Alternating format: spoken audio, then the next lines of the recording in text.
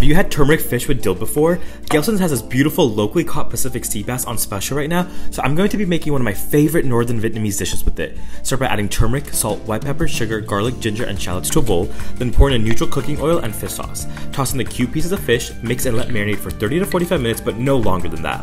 In the meantime, let's make our nuoc mam, or fish sauce dressing. Add equal parts white sugar, lime juice, garlic, and fish sauce, then pour in warm water to help dissolve the sugar and decrease the potency of the fish sauce.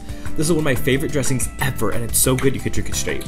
You'll want to cook the fish on a medium to high heat. The sugar in the marinade will caramelize and make for delicious crispy brown bits. Remove the fish once cooked and add in, this, in the same pan add 2 inch pieces of green onions and dill. Let it slightly wilt for a minute or two, then remove. Serve fish over rice or noodles, top with dill and scallion mixture, crushed peanuts, and pour over our delicious and tangy dressing. Et voila!